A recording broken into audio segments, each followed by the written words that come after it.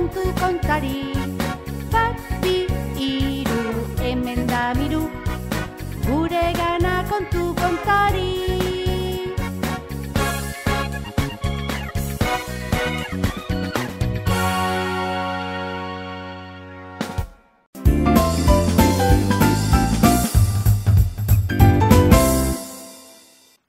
Ausarten kluba Samuel bere gelakoak baina haundiagoa eta indartsuagoa zen. Samuelek uste zuen arazo guztiak indarrez eta burrukan konpontzen zirela.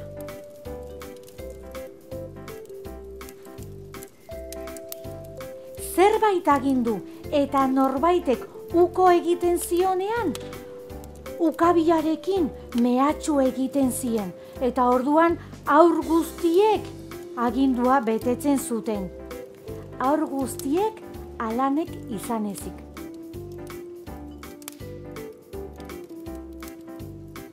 Goiz hartan aurrak txaloka zeuden, txaloka eta oiuka. Aupa Samuel, aupa, aupa, gora Samuel, esaten zuten denek. Eta Samuel besoak jasota garaipenaren seinale egiten zuen. Baina alan lurrean zegoen.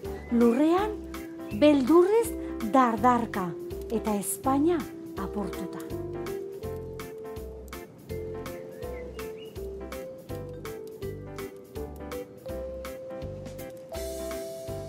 Samuelek ogitartekoa eskatu zion Alani eta Alan etzen prestegon bere ogitartekoa Samueli emateko. Orduan, Samuelek alan gogor bultza eta lurrera bota zuen. Eta hortxe zegoen Samuel, alanen ogitartekoa jaten bere muturren aurrean.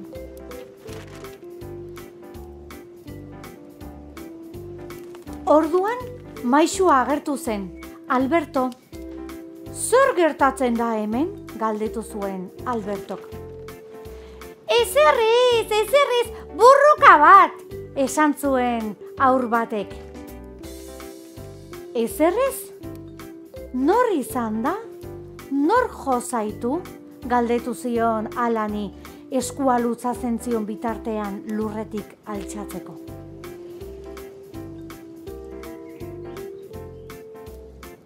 Alan isilik geratu zen. Etzekien zer esan. Erantzun baten bila zebilen, baina ez zuen aurkitzen. Esaten bazuen Samuelek bultzatu zuela, ondoren Samuel mendekatu egingo zen eta gehiago joko zuen. Eta esaten bazuen burruka bat izan zela bien artekoa, orduan Albertok gurasoei deitu eta gurasoek ere zigurtu egingo zuten. Etxekien zer egin, alan galduta zegoen.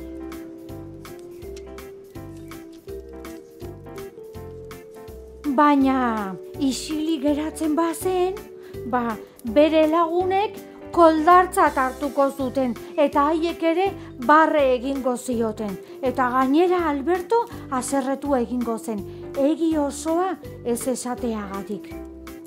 Alanek arazo larri bat zeukan eta etzekien zer egin.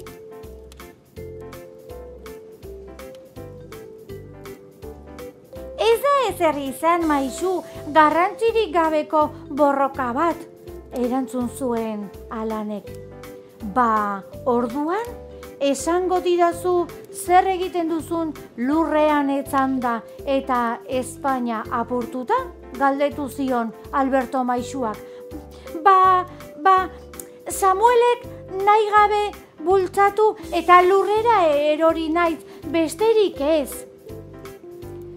Alberto Maixua etzen konforme geratu, baina ezin zuenez besterik ezer gaiago jakin momentu horretan, horrela utzi eta denak gelara bidali zituen.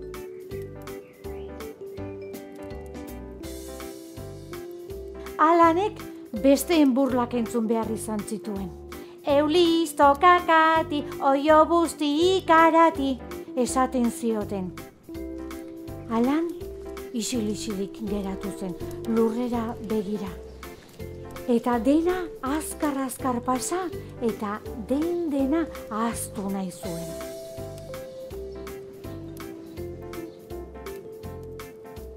Arratsaldean etxera joan alan, triste eta pentsakor, eta etzen konturatu bere atzetik norbait zetorrela.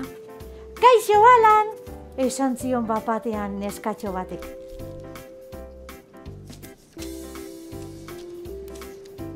Nor zara zu, nik ez ezagutzen, eta nola dakizu nire izena? Esan zion alanek. Dena dakitzuri buruz, nala dut izena, esan zion neskatxo urak, keinu bihurritxo batekin. Eta alan, arrituta geratu zen.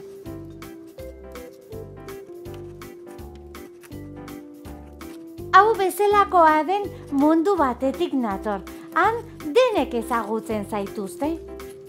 Alan, hau zabali geratu zen.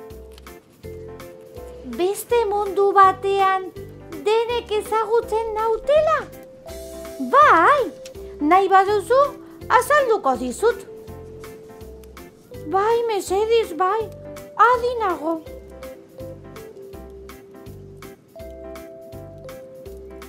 Nire munduan ausarten erregea zara. Zergatik?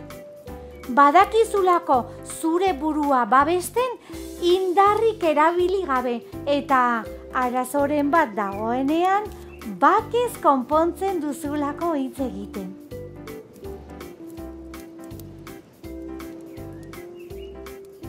Alanek burua makurtu zuen eta lotxatuta esan zion nalari.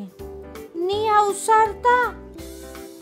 Ez nauzu ondo ezagutzen, gaur goizean eskolan mutil batek jo egin nau eta ez dut defendatzen jakin.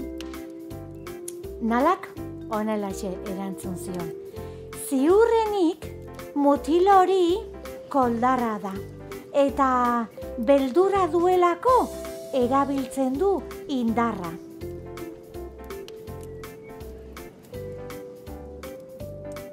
Samuel beldurtia, ez duzu ongi ezagutzen, esan zion alanek, nalari. Ai, alan, Samuelek indarra erabiltzen du, ikaratu nahi zaituztelako. Barru-barruan, beldurra ematen diozuelako. Ez uzu uste, tira, horrela begiratuz gero, agian, eta pentsakor geratu zen, alan.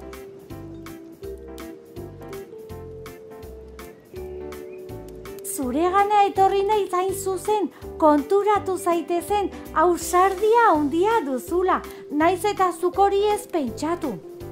Gogoratu, nire munduan, ausarten erregea zara, bakez konpontzen dituzulako arazo guztiak. Eta nala eta alan etxera joan ziren izketan.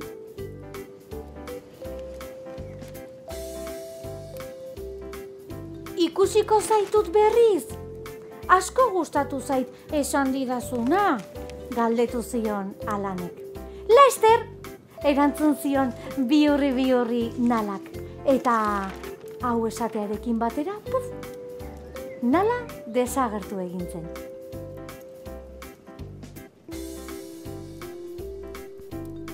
Orduan alanek pentsatu zuen dena amets bat izan zela.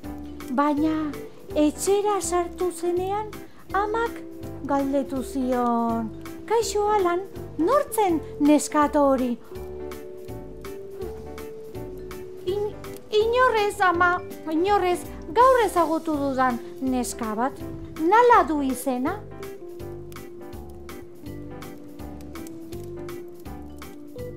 Urrengo egunean, alanek plan bat eraman zuen eskolara. Samuelek jotzen zituen aur batzuk bildu eta onelaxe esan zien. Samuel bakarra da eta gu asko gara. Gauza bat proposatzen dizuet. Hemendik aurrera gutako norbaitekin sartzen denean beste guztiok aurrean jarriko gara babesteko. Zer iruditzen zaizue?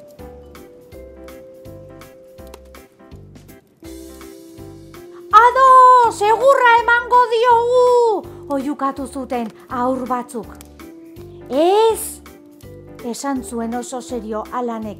Ez! Burrukarik ez!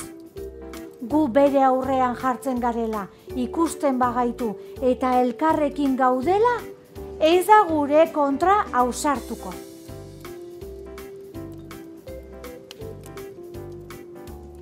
Barru-barruan ziur beldurra duela.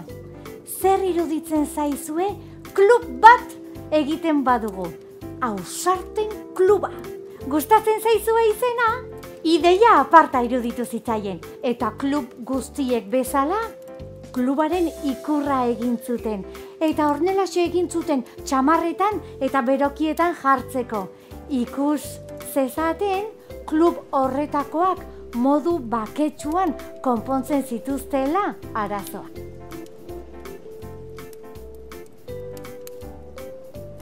Ausarten kluba hasi eta hasi eta hasi egintzen.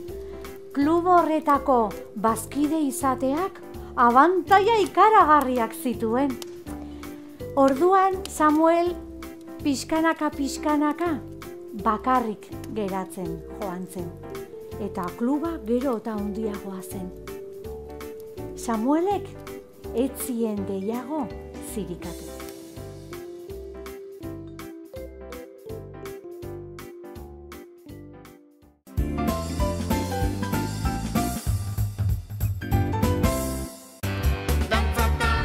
Badator txoro txaranga eta di iporruren Euskal Herriko bira. Zure herrira joatea nahi duzu? Ba jartzaitez harremanetan kiliklon.comen Dantza eta musika gustoko badituzu, etzazu aukera hau galdu. kiliklon.com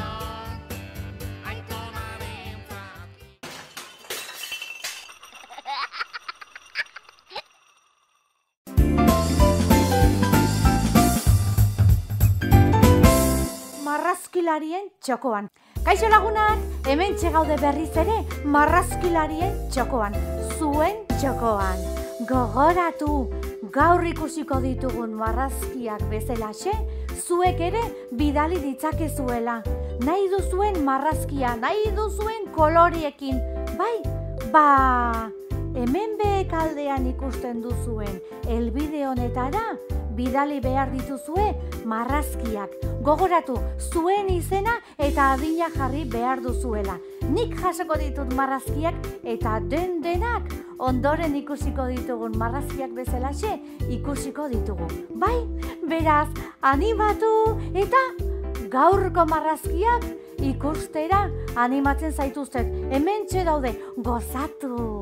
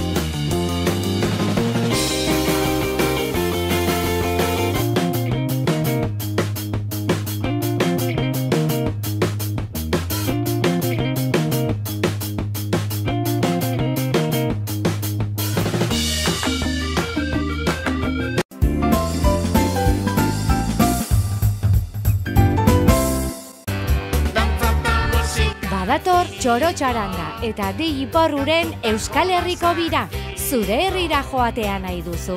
Ba jartzaitez harremanetan kiliklon.comen Dantza eta musika gustoko badituzu, etzazu aukera hau galdu. kiliklon.com